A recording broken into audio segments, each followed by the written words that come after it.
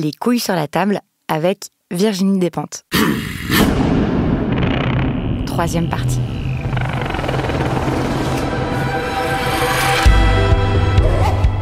Dans cet épisode, on va discuter d'art et de politique, de féminisme, de littérature et de cinéma. Virginie Despentes est, je l'ai déjà dit, une grande écrivaine. Elle a parallèlement à son œuvre littéraire réalisé quatre films. Mais c'est aussi une immense lectrice. Elle est d'ailleurs depuis trois ans membre de la prestigieuse Académie Goncourt qui décerne chaque année le prix du même nom. Avant de s'attaquer au cinéma, on commence par la littérature. Je voulais savoir si ses convictions féministes avaient changé ses goûts de lectrice et sa façon de lire. Et pour commencer, je lui demande comment est-ce qu'on peut continuer à adorer des romans dont on sait qu'ils sont très misogynes, par exemple ceux en France de Michel Houellebecq ou aux États-Unis d'écrivains comme Charles Bukowski ou Bret Easton Ellis. Là, dans la liste, je vais retenir Bukowski. Et je sais que c'est une contradiction. Et un des trucs que j'aimerais vachement réussir à faire, c'est une pièce de théâtre où je ferais dialoguer Simone de Beauvoir et Hank Bukowski, qui sont deux grandes influences pour moi. Parce que c'est difficile de les faire dialoguer à plein de niveaux. Parce que peut-être qu'au moment où on est lecteur, on n'est pas forcément prioritairement euh, lecteur féministe. Non, au moment où on est lecteur, on est vraiment récepteur et on peut être récepteur. C'est comme être en, effectivement un exercice d'empathie. Et donc on peut entendre des voix. Ça, ça dépend du genre de lecteur qu'on est. Euh, je crois pas être un lecteur, je cherche pas des gens qui me ressemblent quand je vais chercher les livres des autres. Euh, j'aime bien les gens qui me font me sentir moins seule, mais j'aime bien aussi qu'on m'emmène justement dans des endroits où j'irai pas toute seule mentalement et dans des espaces qui sont pas les miens, euh, dans le temps, dans les lieux et dans la pensée. Donc on peut être euh, féministe, et au moment où on est lectrice, euh, par exemple, lire le dernier Bret Easton Ellis sans avoir une syncope nerveuse, on peut le faire.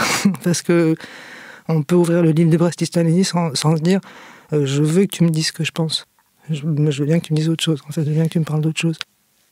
Après, il y a un autre problème pour quelqu'un qui est né comme moi en 69, c'est qu'on peut pas être lectrice euh, et vouloir que des textes féministes parce qu'il n'y aura pas assez de textes. En fait, faudra toujours passer par de ma génération, la plupart d'entre nous, on est passé par un corpus de textes extrêmement masculin euh, et sélectionné parce que masculin, euh, blanc aussi majoritairement, mais masculin essentiellement. Et du coup, on apprend à être un lecteur euh, sans sexe. Ça veut dire au moment où on lit, on est, je me sens même pas ni féministe ni même femme quand je lis en fait. Oui, mais est-ce que c'est pas Justement, moi aussi, j'ai grandi avec. Euh, j'adore la littérature et j'ai grandi avec un corpus. Euh, je crois que j'ai lu beaucoup d'hommes, en fait, euh, déjà. Et puis, des textes qui sont misogynes, souvent, etc. Donc, c'est comme si j'avais. Et même les textes féminins qui sont restés, la plupart d'entre eux sont misogynes. Enfin, ont un caractère misogyne super fort. Il y a des... Moi, j'aime vachement Colette. Il y a des moments de Colette où tu es atterré. J'adore Marguerite Duras. Il y a des moments où Duras, elle t'atterre. J'adore Sagan. Il y a des moments où je suis. Bon. C'est-à-dire, c'est même pas ça, ça joue même pas en termes de les écrivains femmes vont être un meilleur soutien que même d'ailleurs Simone de Beauvoir par moment. Tu sais pas quoi lui dire. Enfin, donc t'es, presque obligé si t'es lecteur à un moment donné de. Aujourd'hui, c'est peut-être moins vrai. justement, parce qu'on est beaucoup à se demander, à se dire, mais en fait, vu qu'on a grandi avec tout ça, comme lectrice, on sait, on connaît leur point de vue en fait. On connaît, on connaît on connaît comment ils voient les femmes, on connaît ces personnages féminins super stéréotypés, on est dans leur tête, on comprend comment le narrateur masculin, le point de vue qu'il a, etc. Et en fait, on peut avoir envie d'autre chose, là, vraiment, et de se dire, en fait, vu tous les livres qu'il y a à lire, je choisis, moi, de plus lire euh, Bukowski, je choisis de plus lire euh, tout ça, parce qu'en fait, il y a d'autres choses à lire euh, plus intéressantes et peut-être qui, qui, moi, vont me faire me sentir mieux aussi. Là, je vais être un peu. Je pense que ce serait dommage de se passer des lectures de Bukowski quand même malgré tous les problèmes que ça peut poser euh, comme féministe, parce que euh, parce qu'il y a dans cette attitude virile, il y a quelque chose d'attirant aussi et à laquelle on a droit aussi. Ça veut dire, euh, ce qui peut être intéressant aussi, c'est s'exposer à des textes avec lesquels on n'est pas d'accord, mais aussi parfois pour attraper des attitudes qui ne devraient pas être les nôtres. Par exemple, Bukowski, c'est un son, c'est un style, mais c'est vraiment une attitude. Et cette attitude, ce serait dommage de rien aller y chercher sous prétexte que c'est pas un féministe euh, traditionnel. Donc pour se les réapproprier aussi. Pour se les réapproprier aussi, ouais. Et c'est important aussi, je crois, euh, d'être capable d'écouter des paroles avec lesquelles on n'est pas d'accord sans que ça soit une offense insupportable.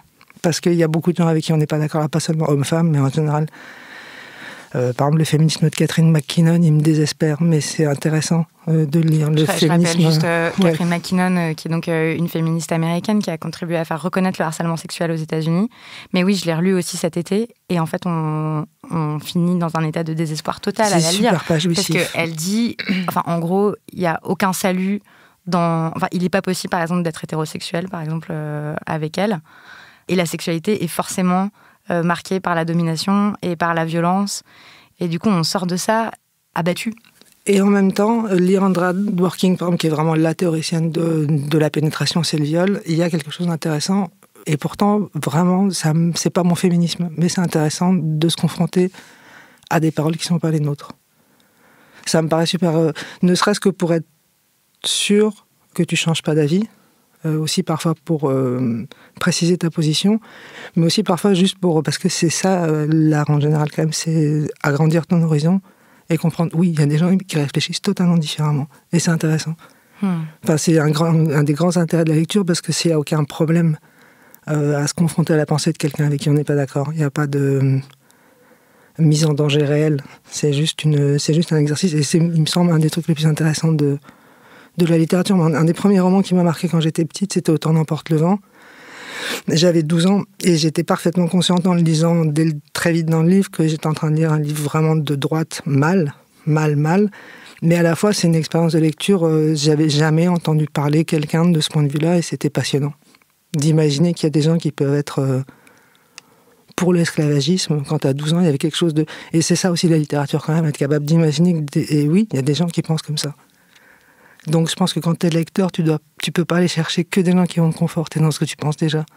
Et donc tu dois prendre le risque d'être confronté à des pensées qui te mettent mal à l'aise ou à des définitions du monde, des visions du monde qui te, déstabilisent parce que c'est ça l'idée.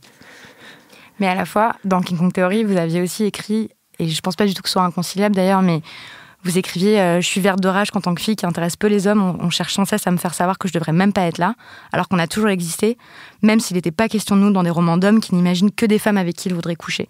C'est vrai que moi, comme femme, euh, j'avais, j'ai envie de lire des romans euh, où il y a des femmes qui sortent du marché de la bonne meuf. Ouais, ouais. C'est très important. Non, on, a besoin, aussi, Non, quand, quand, je dis tout ça, je dis pas qu'il me paraît bien que tous les artistes qui rentrent dans l'histoire soient des artistes hommes. Euh, il me semble qu'un peu de pluralité nous ferait le plus grand bien à tous. Euh, mais ce que je veux dire par là, c'est il me semble dangereux d'écarter de, ton champ de vision et de connaissance tout ce qui coïncide pas exactement avec ce que tu penses. Parce que sinon, ça vaut plus trop le coup d'aller lire si c'est pour toujours aller lire quelque chose. Euh, j'adore Zadie Smith, mais si je lis que Zadie Smith, je m'appauvris au sens où, en général, je me sens très en accord avec elle. Elle me met en danger sur rien. White, de Bret Easton Ellis, ça me met pas en danger, mais ça euh, j'avance plus, puisque je suis pas d'accord. Hmm. Euh, ça veut pas dire que je préfère Eddie Smith à Bret Easton Ellis, attention, mais je pense que lire les deux me paraît bien. Oui, parce que la question s'est aussi posée pour le cinéma, par exemple, euh, quand on décide de faire des rétrospectives. Ça, c'est différent, parce que le cinéma, comme il faut une permission, écrire quand même, même Violette Leduc peut écrire. parce que Violette Leduc, euh, qui est un écrivain qui écrit en même temps que Jean Genet, qui a eu beaucoup plus de problèmes pour publier que Jean Genet, et qui est, à mon avis, un écrivain vraiment de grand talent, peut-être un peu méconnu par rapport à son talent, en raison de son genre. Euh, mais Violette Leduc, elle n'a pas besoin pour remplir ses cahiers de demander l'autorisation à qui que ce soit, alors que pour faire un film, il faut toujours l'autorisation d'un producteur qui lui-même a besoin d'autorisation de financier. Donc là, le cinéma, pour moi, c'est pas du tout comparable à la littérature, parce que là, effectivement, la littérature, euh, les grands auteurs qui rentrent dans l'histoire sont des auteurs hommes pour des raisons qu'on connaît. Mais il y a, des auteurs femmes. Euh, en cinéma, il y a effectivement une vraie pénurie de réalisatrices femmes parce que c'est tellement d'argent, tellement de pouvoir que c'est très difficile pour des femmes de réaliser des films. Il y en a, hein. mais effectivement, il y a d'autres problèmes économiques et politiques qui se posent pas exactement de la même façon. Euh. Il y, a des, il y a des points où ça se recoupe, mais il y a des points où c'est très particulier le cinéma. Donc, du coup, en tant que Comme le jeu vidéo. Ah le jeu vidéo, j'ai l'impression que les concepteurs sont énormément des mecs parce que c'est là où il le pouvoir et l'argent en ce moment. Donc effectivement, c'est pas la même. Euh, et là, il faut une autorisation euh, pour mettre en financement ton, ton projet. Et là, effectivement, être une femme est un vrai problème. Du coup, en tant que spectatrice, par exemple, de, de cinéma, c'est pareil. Moi, il y a plein de films que j'ai plus envie d'aller voir, ou des rétrospectives, la rétrospective Polanski et compagnie. Ça, je me dis, on en a assez, en fait. Est-ce que est-ce euh, est-ce qu'on n'est pas en droit de demander autre chose, euh, d'autres films, euh, d'autres, de mettre en valeur d'autres créateurs, d'autres cinéastes, etc. Ça veut pas dire qu'il faut tout mettre à la poubelle, mais D'un point de vue féministe, quasiment, du cinéma, on peut tout mettre à la poubelle. Parce que c'est quasiment une industrie qui s'est créée, pas pour ça, mais qui immédiatement a servi à créer le genre tel qu'on le connaît dans ce qu'il a de, de dérangeant. Et c'est une industrie dont on peut faire l'analyse quasiment entièrement euh, dans sa propagande du genre. Qu'est-ce qu'elle a inventé comme genre de femme Qu'est-ce qu'elle a inventé pour les hommes euh, Et elle a vraiment inventé quelque chose, et ça a vraiment été une propagande qui nous est tous rentrée dans le cerveau et qui a ensuite infusé dans la publicité, et qui a influencé tous les autres médias, non? Parce que ça a été vraiment un média dominant pendant 40 ans, 50 ans. Et je crois qu'on peut lui reprocher tout. Le cinéma, d'un point de vue du genre, mais après, est-ce qu'on peut euh, voir les choses uniques Elle se juge pas uniquement du point de vue du genre, mais du point de vue du genre et de la race. Le cinéma, c'est vraiment le triomphe du mal absolu. Vous regardez avec des de exceptions, films? Avec de vraies exceptions évidemment, mais euh, dans son étude majeure, c'est vraiment la construction de l'homme blanc, le cinéma. On, on peut, on peut Encore plus que la littérature. beaucoup plus que la littérature. Il n'y a pas de Monique Wittig du cinéma. Parce que si Monique Wittig arrive dans le cinéma, bah, elle a fait un film, elle ne peut pas faire un film comme ses grands livres parce qu'on ne va pas lui donner l'argent. Et quand bien même on lui aurait donné l'argent, elle n'aura pas les rétrospectives, elle n'aura pas les salles de cinéma, elle n'aura pas les articles. Parce que tout ça, ça a vraiment été, et ça a été totalement inconscient, mais quand même cohérent. Euh, c'est vraiment un travail de, de propagande du genre. Moi, j'ai un, peu un problème dans les problèmes qu'on se pose en ce moment sur le cinéma, parce que c'est comme si on essayait de se dire on va régler deux, trois petits trucs dans le cinéma et ça ira mieux. Mais non, là, c'est vraiment le cinéma, c'est vraiment l'industrie. De... Ça repose là-dessus. Ça a pratiquement tout de suite reposé sur qu'est-ce qu'on va inventer comme femme, qu'est-ce qu'on va inventer comme homme et comment est-ce qu'on va séparer les deux, en leur expliquant qu'ils peuvent pas, ils peuvent pas lutter ensemble. Ils peuvent lutter que l'un contre l'autre et ils seront jamais. Parce que c'est vraiment. Tu vois, ce truc du test Bechdel, Donc je rappelle, on en a parfois parlé dans l'émission, mais le test de Bechdel, euh, c'est très simple, c'est trois questions en sortant d'un film. Est-ce qu'il y a deux personnages féminins qui ont un prénom euh, et un nom? Et est-ce qu'elles parlent ensemble? Et est-ce qu'elles parlent d'autre chose que d'un homme? Bon, le troisième point, c'est pratiquement toujours non. Elles parlent jamais d'autre chose que d'un homme. C'est super rare. Maintenant, ça arrive petit à petit. On a des scènes où des femmes parlent d'autre chose que. Mais sinon, si tu prends même les séries, même. Je l'avais fait euh, Game of Thrones, par exemple. Il y a quelques épisodes qui passent le test Bechdel. Il y en a très peu. Sur quand même 7 saisons, 8 saisons. Et avec vachement de personnages féminins. Mais des moments où elles parlent, où deux personnages féminins sont ensemble, elles font avancer l'action euh, sans être en train de parler d'un leur fils, leur mari, leur euh, qu'est-ce qu'elles vont faire par rapport à un homme, c'est super rare. Et ça, tu te dis si ce test-là il se passe pas, c'est qu'il y a quand même vraiment un problème dans cette industrie, un problème profond, parce que c'est le, le non, de pouvoir faire ces histoires toute seule. Du coup, qu'est-ce que le féminisme euh, a fait à la spectatrice de cinéma que vous êtes? Est-ce que vous regardez encore des films? Moi, je regarde vachement de séries, et je trouve que moi j'ai l'impression que ça s'arrange dans les séries. En tout cas, euh, j'ai l'impression de voir plus de réalisatrices, plus de scénaristes. Euh, j'ai l'impression de voir des personnages féminins de plus de 50 ans, de plus en plus souvent. Euh, de voir des femmes qui sont pas des garages à bites, parce que sinon dans le cinéma c'est toujours soit une mère, soit quelqu'un qu'on va désirer d'un point de vue hétérosexuel mal, mais euh, j'ai l'impression que de plus en plus je vois des personnages apparaître et des types de situations apparaître dans les séries. Mais sinon, en tant que féministe, le cinéma peut pas donner grand-chose pour moi, à part des films des fois qui... Euh, L'Ange de la Vengeance de Ferrara, qui est pour moi un film qui, je sais pas, j'ai dû le voir 65 fois, qui te fait toujours du bien. T'as l'impression que ça lui a échappé un peu, parce que c'est pas vraiment un... Et des fois, ouais, comme ça, il y a des films qui ont... A Gun for Jennifer, un jour ça a existé. Film, il y en a, là, pour le coup, féministe, euh, film féministe, t'en as 15 20. Bon, j'exagère peut-être un petit peu, mais pas beaucoup. Dans votre littérature, il y a aussi des personnages féminins qui échappent aux stéréotypes, qui échappent au marché de la bonne meuf, etc. Mais à la fois, il y a un autre truc qui m'a frappé en le relisant, c'est que euh, la façon dont les corps féminins sont décrits, euh, souvent dans votre œuvre, c'est très brutal. Et en fait, ça emprunte beaucoup au male gaze, enfin, au, regard masculin. Euh, vous décrivez. Après, c'est dans le regard des personnages masculins qui regardent les femmes, mais c'est toujours. Il y avait ses bourrelets qui dépassaient, elle était ridée, elle avait pas bien vieilli, euh, elle avait une beauté de garce fine, elle avait l'air d'une meuf qui voulait se faire attraper. Enfin, ça m'a. Ça m'a, ça m'a frappé ce paradoxe-là en fait. Jusqu'à très tard, j'ai toujours été entouré de mecs. C'est-à-dire, vraiment, il y a une bascule qui se fait, c'est une question de devenir lesbienne, mais pas seulement, c'est aussi une question d'âge. Mais jusqu'à ce que j'ai 35 ans, j'ai essentiellement, euh, j'ai toujours eu des copines, mais j'ai essentiellement des amis hommes. Donc je suis très familière de comment ils regardent les femmes à la télé ou dans une fête ou et à la fois ça m'exaspère je crois et à la fois il y a une tendresse parce que c'est des trucs de tes potes idiots euh, qui regardent les filles et des fois ça juste ça te blesse euh, pas en tant que femme mais en tant que quand c'est un pote à toi des fois tu trouves ça tellement nul que ça te blesse d'être ami avec ce gars. il y a un truc, tu trouves ça dommage que tu l'aimes bien. Enfin, des fois, c'est comme ça, quoi. Mais d'autres fois, c'est juste, tu trouves ça idiot, mais rigolo. Il y a un truc comme ça et aussi un truc ça, ça a été aussi un truc très, efficace quoi. Mais ça a, été, ça aussi vraiment été une, attitude des femmes de ma génération très répandue de parce que tu savais tellement pas quoi faire, tu trouvais ça rigolo. De, de, de, de, critiquer le corps des autres femmes, euh, d'en parler en même, dans les mêmes termes. Et ça te semblait. Qu'est-ce que tu. Tu voyais le côté rigolo? Parce que, mais aussi par, euh, parce que sinon tu fais quoi? Tu vas être toute seule toute ta vie euh, à parler, avoir aucun pote. Enfin, toi, il y avait un truc comme ça, et ça, je pense que c'est très caractéristique d'une certaine de défis comme moi. On, on est, je suis pas la seule, quoi, qui ont décidé de trouver ça rigolo quand c'était pas forcément rigolo. Oui, parce que ce regard-là qui est porté par eux, quand nous on l'intériorise, ça veut dire que le regard qu'on porte sur son propre corps et tout. Enfin, vous, vous avez jamais été tendre en plus avec euh, vous-même quand vous vous décrivez et tout ça. Vous écrivez des trucs comme euh, je me suis toujours sentie moche. Euh. En fait, le regard, le male gaze, là, le regard, moi j'appelle ça le regard du garçon bouché, quoi. C'est, euh, on découpe les filles en morceaux, on dit, ouais, ses cuisses, ça va, son ventre, non, sa gueule, elle est comme ci, comme ça, etc. Et en fait, de pas pouvoir en avoir un autre, quoi, que ce regard-là sur son propre corps, sur le corps de ses copines, des femmes et tout, c'est, c'est dur aussi. Ouais, c'est super dur. De toute façon, mon analyse à moi, c'est que c'est pas facile d'être une fille. en tout cas, de ma génération, j'ai trouvé ça pas facile, ça c'est clair. Parce que c'est comme se faufiler tout le temps entre euh, des obstacles, parfois trop rapprochés pour qu'on puisse se faufiler entre, quoi, donc se les prendre de, de, pleine face.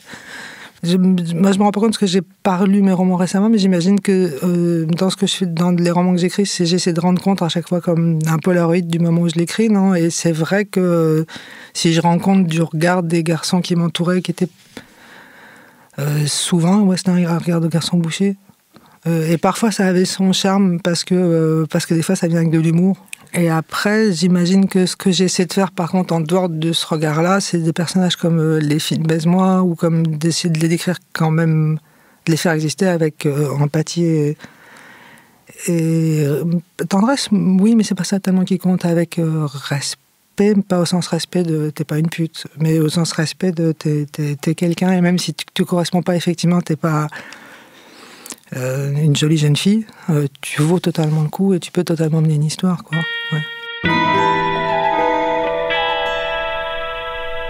Vous faites partie du jury du prix Goncourt Ouais. Donc vous lisez énormément de production contemporaine. Euh, quel regard vous avez sur la production littéraire contemporaine? Est-ce que vous trouvez que c'est toujours une littérature blanche de la bourgeoisie masculine? Je me rappelle d'une étude faite en 2015 sur les romans de la rentrée littéraire qui montrait que plus des trois quarts des personnages avaient une profession artistique ou intellectuelle et étaient cadres sup. Est-ce que c'est encore le cas aujourd'hui? Est-ce que vous trouvez que cette littérature, elle est toujours euh, très marquée par la classe et par le genre? Bah, Déjà, donc, euh, en étant juré, je vais lire beaucoup de littérature contemporaine française. C'est particulier, enfin, c'est pas... Là, on est chez nous, quoi. Et je trouve euh, ça moins vrai, ça dépend des années, en fait. Cette année, par exemple, je trouve ça un petit peu moins vrai parce qu'il y a plusieurs... Euh, plusieurs romans magistraux qui ne sont pas écrits par des blanches, par exemple, euh, ni par des hommes. Euh, mais, si, j'imagine, si on fait quand même la statistique à la fin, il y a une représentation totalement anormale d'hommes blancs de catégorie plus, plus, plus. Il, y a, il est rarement question de loyer dans les romans qu'on lit, mais ça arrive quand même. J'ai, plutôt l'impression que les éditeurs vont dans un sens c'est-à-dire petit à petit, les éditeurs, parce que c'est eux qui choisissent quels textes euh, vont voir le jour ou pas. J'ai l'impression que petit à petit, les éditeurs prennent conscience de ce qu'il y a eu une crise économique en Europe, qu'il y a une quelque chose comme le féminisme, qui est en train de, qu'il y a quelques personnes qui s'intéressent au, au postcolonialisme. Enfin, petit à petit, ça arrive jusque Saint-Germain, euh, et on sent tout doucement.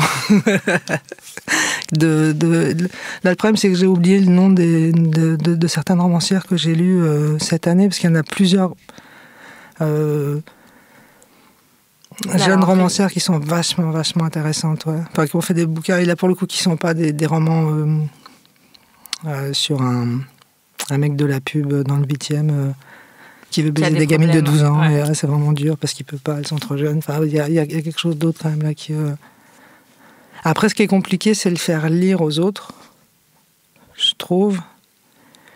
Et, euh, c'est la réception critique aussi, quoi. Mais est-ce que, est-ce que pour vous, c'est un critère?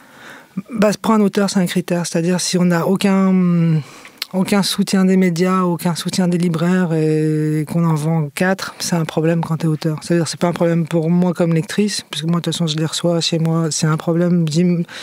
Si, tu lis un bouquin que tu trouves vachement bien, tu as envie qu'il soit le plus euh, soutenu possible pour que d'autres gens aient l'opportunité de le lire et de voir si ça leur plaît aussi. Et probablement, ça va leur, si ça t'a vraiment beaucoup plu, ça va leur plaire aussi. Donc tu as envie qu'il y ait quand même un, un relais, notamment médiatique, parce que sur les 300-400 romans de la rentrée, il faut quand même aiguiller les lecteurs et même les libraires vers les romans euh, qui, nous ont le plus plu. Donc oui, pour moi c'est important, pas pour moi personnellement, mais pour moi l'idée que je me fais de pas de la littérature, mais de l'édition, juste de qu'est-ce qu'on peut faire exister comme texte, parce que ça me paraît vraiment important euh, de faire exister des textes qui, sont, qui, qui proviennent pas toujours des mêmes sujets, euh, qui énoncent pas toujours les mêmes réalités. Et donc c'est super important qu'ils aient une reconnaissance, parce que c'est, c'est, tout à fait possible d'avoir un succès euh, spontané, sans la presse, et en étant chez un petit éditeur, mais c'est super rare. C'est quand même plus facile si tu as quatre articles. De... Enfin, du coup, vous, votre rôle, il est immense, parce que si le roman se retrouve sur la, la première liste de sélection du concours et tout, forcément, on va, on va en parler. Quoi, on va en parler plus, ouais. Euh, pas forcément, en tout cas, c'est... Mais je suis pas toute seule. C'est le propre du jury, non? Sinon, parce que donc je peux pas faire exactement euh, ce que je veux comme je veux. C'est l'idée. Peut-être qu'à un moment donné, je vais pas faire un truc toute seule, mais parce que. Euh, mais en tout cas, je me sens une responsabilité parce que c'est vrai qu'on en reçoit beaucoup. J'en lis beaucoup que j'aurais pas lu. Euh, spontanément. Spontanément et qui m'intéressent vachement. Je trouve pas qu'on ait un problème de il y a trop de textes peut-être, il y a beaucoup de textes, je comprends même pas pourquoi les gens les écrivent. Moi personnellement, quand je les lis, je me dis que je comprends même pas pourquoi t'as pas fait plutôt ton, ton gazon, emmener tes enfants à la piscine ou faire autre chose, quoi. Mais mais il y en a d'autres, ouais. Il y, a des textes qui me semblent. Là, Léonore Miano, parmi Léonore Miano fait partie des, auteurs. Euh, il me semble, euh, parce qu'on parle de ces romans, mais on n'en parle pas au niveau où elle est, j'ai l'impression. Ouais, vous avez dit dans une interview, je me souviens que vous ne compreniez pas pourquoi elle n'avait pas le statut euh, de grand écrivain français euh, direct, parce que... Nobel direct, Miano. Enfin, pour moi, c'est vraiment là, à ce niveau de ce qu'elle est en train de faire, ce qu'elle est en train de déployer, est vraiment extraordinaire. Mais même Fatou Diomé, là, je disais son roman, et elle, je l'ai toujours lu, enfin, je l'ai lu depuis longtemps, elle est géniale. et elle est à un niveau de maturité, de maîtrise de ce qu'elle fait totalement comment dire, inouï, c'est peut-être un peu, c'est pas le mot, mais c'est un plaisir de lecture incroyable parce qu'elle est vraiment à un niveau et je trouve qu'elle n'est pas, pas au niveau auquel elle devrait être. Une question toute bête technique, mais vous en recevez énormément. Oui, vous avez une règle, vous en lisez 50 pages, après vous passez au suivant, vous regardez d'abord qui l'a écrit. Comment vous bah là, ça commence, c'est la cinquième année, je crois que je le fais. Donc ouais, je commence à avoir, je lis aussi au bout de 30 pages, je m'ennuie mortellement, je l'arrête. Et après, si tous mes collègues, euh, pas, pas tous, mais si plusieurs collègues reviennent en disant c'est un chef-d'œuvre, je le reprends. Mais sinon, non. Au début, je les lisais tous entiers. La première année, un, quand, ouais, quand, pas les 400, mais tous ceux que je commençais, je les lisais jusqu'au bout, au cas où. Mais au bout d'un moment, tu dis, je peux pas, si au bout de 30 pages, je suis déjà en, j'ai l'impression d'être à l'école. Il y a peu de chances pour que ça s'arrange en fait dans les 60 pages qui suivent. Donc maintenant, et si ça me plaît, par contre, non, je le lis jusqu'au bout, mais je peux le lire très vite. Je peux le lire dans la journée, ce qui indique que j'ai lu comme ça venait. Quoi. Mais moi, c'est une lecture que j'aime bien. J'aime, bien lire en, en binge reading. Quoi. En, ça me plaît. Il y a un truc qui me.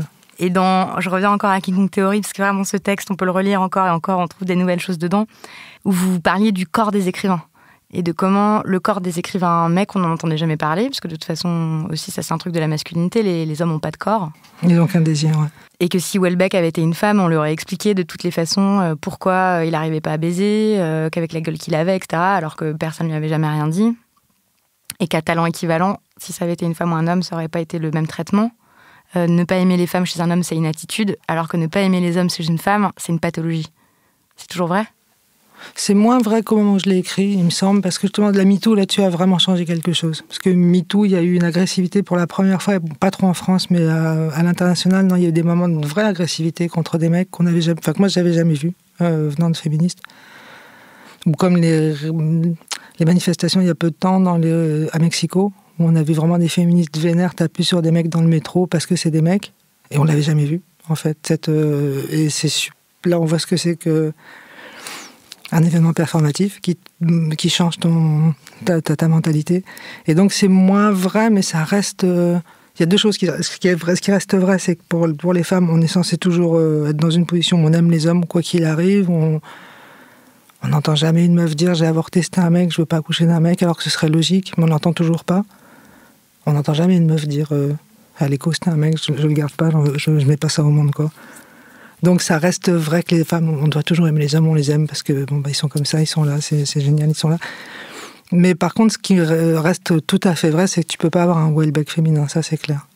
Euh, déjà parce qu'on ne reconnaîtra jamais en France à une femme l'intelligence qu'on peut reconnaître à Welbeck. Et de deux, parce qu'effectivement, si elle arrive avec un physique aussi difficile que celui de Welbeck, on parlera que de ça en fait. C'est clair. Voir, on la peut-être, on la publiera pas, peut-être qu'on l'invitera pas sur les plateaux télé, peut-être que. Enfin, vous soulignez aussi l'obligation qu'elle est toujours un peu, un peu pimpante. On peut la publier. On publie plein de femmes d'une cinquantaine d'années, puis on n'en parle pas. C'est ça qu'on fait avec les femmes. Non, on continue à les publier, mais simplement on n'en parle plus. Euh, bon, après, si elles s'accrochent et qu'à 70 ans, elles sont encore là, elles auront peut-être un petit papier, mais sinon, c'est plus ce qu'on fait non, avec les femmes. On continue à les publier, mais on s'intéresse au premier roman de très jeune femme. Puis il y a Annie Ernaux à l'autre bout, parce qu'elle est restée là. On se dit, bon, bon au bout d'un moment, on être obligé de reconnaître qu'Annie Ernaux est un grand écrivain. On va pas, non, au bout de l'âge qu'elle a, on va commencer à le dire. Mais sinon, entre les deux, tu as l'impression qu'entre 35 et 70 ans, pour la plupart des meufs, c'est comme un, elles disparaissent du. Elles sont plus intéressantes pour les. pas, pas, pour les lecteurs, mais pour les, les gens qui rendent compte des livres. Comme le cinéma. Moins grave, dans le cinéma, c'est pire chaque fois, chaque question dans le cinéma, c'est pire. Dans le cinéma, c'est pire parce que là, par contre, on ne produit pas les, euh, les films des femmes de 50 ans. On en produit quelques-uns, bien évidemment, j'exagère.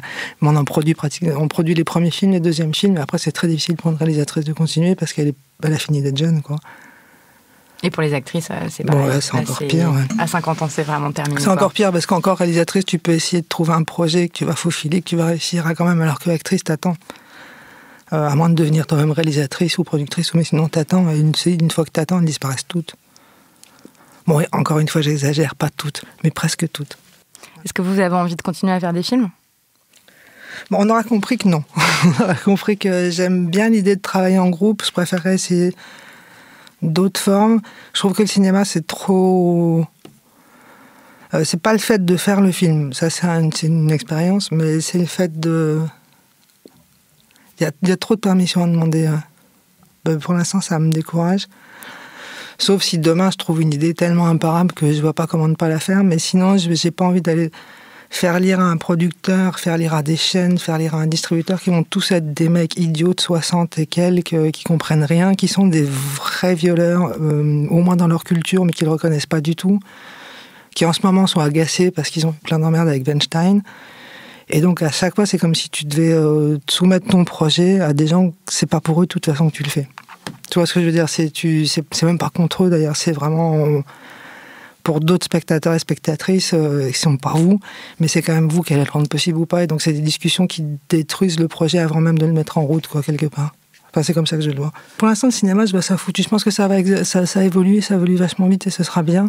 Mais pour l'instant, il y a trop des mecs partout et c'est vraiment, ils y peuvent rien parce qu'ils n'ont pas été formés à autre chose. Ils sont vraiment, ils sont formés dans ce milieu de, qui est insupportable, qui est insupportable au niveau du genre, au niveau de la classe et au niveau de la race. Donc euh, c'est vraiment compliqué de faire. C'est possible, mais c'est vraiment compliqué de faire euh, exister quelque chose d'un peu intéressant dans ce.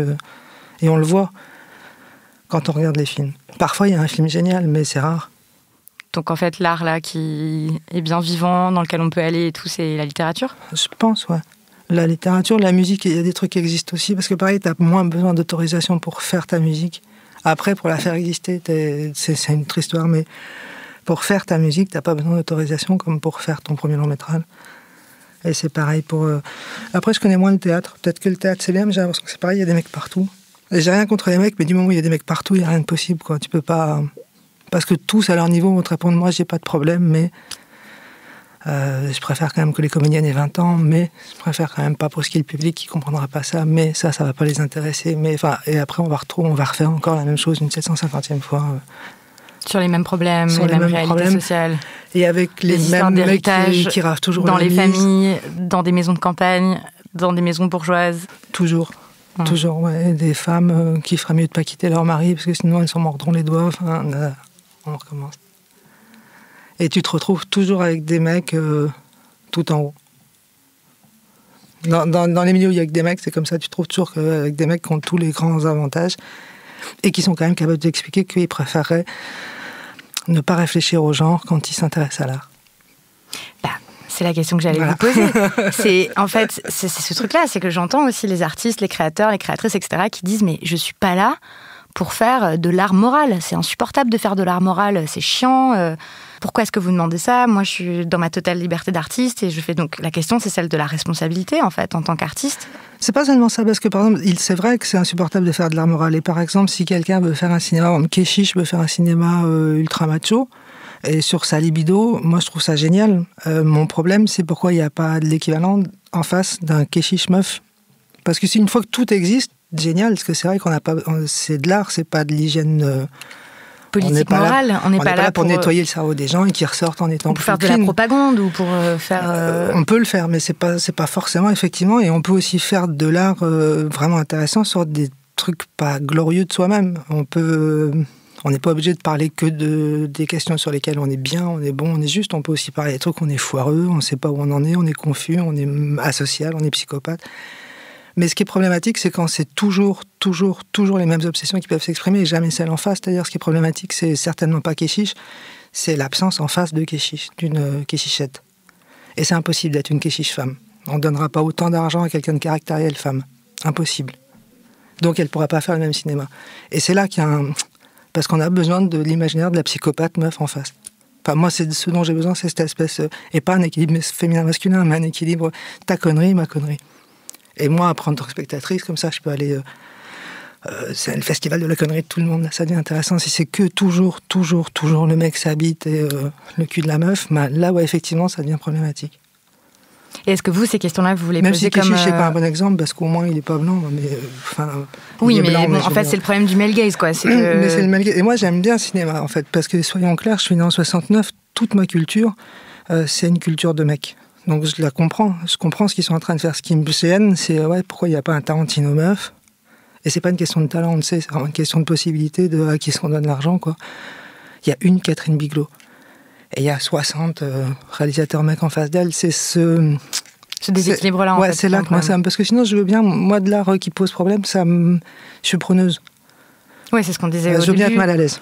Je on est d'accord pour aller voir des œuvres avec lesquelles on n'est pas d'accord, etc. Mais... Je sais pas quoi faire. Tu vois, Salaud, les 120 jours de Sodome, je sais pas quoi en faire. Ça m'intéresse quand même. Oui, mais on pourrait aussi imaginer des œuvres d'art, comme vous disiez, pour la pornographie, en fait. Euh, ah, d'autres. Non, par contre, une, pluralité, ça changerait tout. Qui, décrivent des relations hétérosexuelles. Euh, heureuse, euh, où les deux jouissent euh, génialement, où euh, les, femmes n'ont pas des corps stéréotypés, où, enfin, où ça rouvre vraiment des imaginaires et des possibilités. Ça peut aussi être ça. Et donc, je me demande. Et petit à petit, ça se. Le dernier film de Céline Sciamma ou le dernier film de Rebecca Slutowski, là, pour revenir à un cinéma plus positif, effectivement, c'est une fille facile et le portrait de la jeune fille en feu. Euh, elles changent euh, toutes les deux de façon très subtile, mais vraiment nette. Elles changent les, curseurs. là, pour le coup, elles les ont fait bouger euh, chacune dans, leur film, donc c'est possible. Et là, et là, ça devient intéressant. Et ça me semble intéressant aussi que des gens euh, qui sont pas féministes ni femmes les voient justement pour être éventuellement transformés au courant, mal à l'aise, réagir parce que c'est toute l'idée normalement d'être curieux au niveau de l'art. Mais effectivement, il faut une pluralité non seulement des, émissions, des gens qui émettent, euh, des types de, de narration, de fiction qu'on lance, mais aussi il faut une pluralité des, euh, normalement des critiques. Euh, dans, il faut des podcasts, il faut des articles, il faut des gens capables de décoder les, les œuvres aussi. Donc il faut des en fait il faut des gens différents partout, non?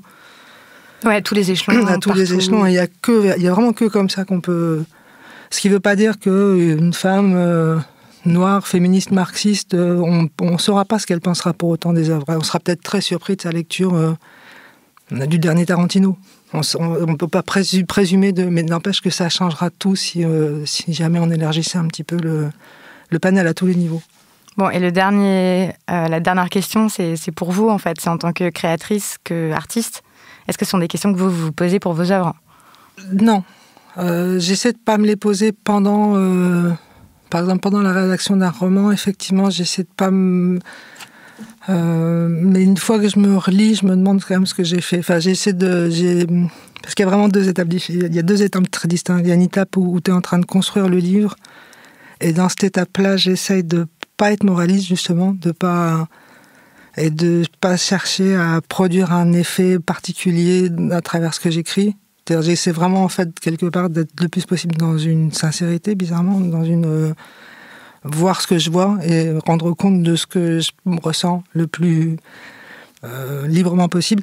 Après, il y a un moment où tu te relis, tu coupes, tu rallonges, tu t'expliques. Et dans ce moment-là aussi, je me pose la question de savoir quel, sur l'échiquier politique, par exemple, quel genre de roman j'ai écrit. Euh, mais pas dans un premier temps parce que parce qu'effectivement, si jamais il y a une narration gênante, Patrice, pour moi, c'est gênant, par exemple, dans Vernon Subutex, d'arriver sur ce personnage. Euh, je sais ce que je fais quand je le fais, mais c'est un moment un peu. Hum, je suis un peu. Mais Xavier aussi, qui a une tirade raciste euh, super drôle au début de Vernon Subutex 1. Et le personnage du facho aussi. Il y a un personnage, de gros facho. Et en fait, dans Vernon Subutex, mais oui, c'est ça, qui, ça qui est tellement troublant comme lectrice quand on lit ce roman-là et tout, c'est que en plus ce sont que des focalisations euh, internes des personnages. donc on rentre, ouais. donc on rentre vraiment dans leur tête, dans leur peau et tout, et, et on se dit bah voilà ça y est j'ai passé deux heures dans la peau d'un facho quoi, c'est euh, ou d'un raciste ou d'un mec qui tape sa femme etc. Et et voilà, je me demandais comment, quel sens euh, ça, avait, quoi. Pour vous, quelles questions vous vous posez quand vous relisez ça, quoi? Quand je le relis, il y a des choses que je fais qui sont morales. Par exemple, Xavier, je vois que je prends un peu beaucoup de plaisir à développer sa connerie raciste dans le monoprix. Je essaie de le couper le plus possible. Euh, il y, y, a des solos comme ça où je me dis, je te trouve un peu à l'aise. On va peut-être un peu ramasser ça, être un peu moins, hein, faire, montre un peu moins de dextérité.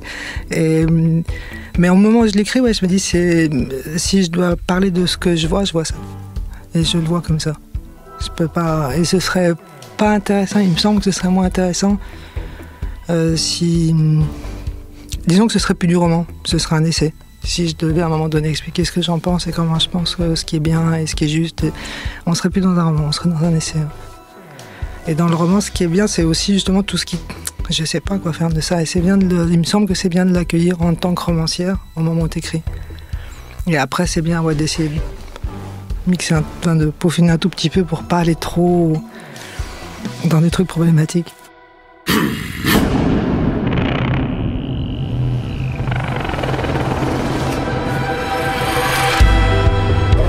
Vous retrouverez la suite et la fin de cet entretien dans le quatrième épisode diffusé dès la semaine prochaine. Là, il sera question d'hétérosexualité. C'est déjà compliqué d'être féministe et travailler. Parce que tu es tout le temps en train de faire des concessions que tu n'as pas à faire. C'est compliqué d'être féministe et euh, sortir de chez toi. Alors en plus, féministe et vivre avec un mec, ouais, c'est compliqué, c'est vrai. Mais aussi de ce que ça fait de ne pas avoir eu d'enfant, du désastre écologique en cours et de plein d'autres choses encore. Les couilles sur la table est un podcast de Binge Audio et si ça vous a plu, vous pouvez conseiller à celles et ceux qui n'écoutent pas encore de le faire. Les épisodes sont disponibles sur toutes les plateformes de podcast. Quentin Bresson a enregistré et réalisé cet épisode. Camille Regache s'est occupée de le mettre en ligne. Et moi, vous pouvez toujours m'écrire à l'adresse les couilles sur la table binge.audio. Merci beaucoup pour votre écoute et à la semaine prochaine.